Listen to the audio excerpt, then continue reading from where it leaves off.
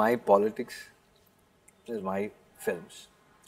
And uh, on a personal level, my problem is to say the story that's more relevant today because everything today is like you know we all are being stifled so to pick up the right one which is going to be of the most relevance and most which has the most urgency to discuss.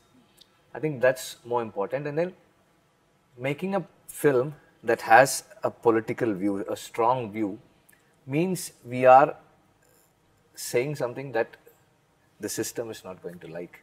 And uh, it it really needs to make a film on, on those of those kind. Like it, it really needs a big support system to do it you need an investor you need uh, actors or, or non-actors someone to come in and, and pull this off so that we are able to deliver the film.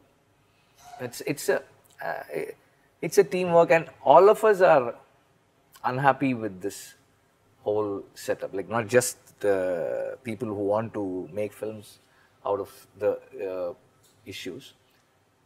The whole world is unhappy. We have some people voice it some people don't. I feel that that is why all this is happening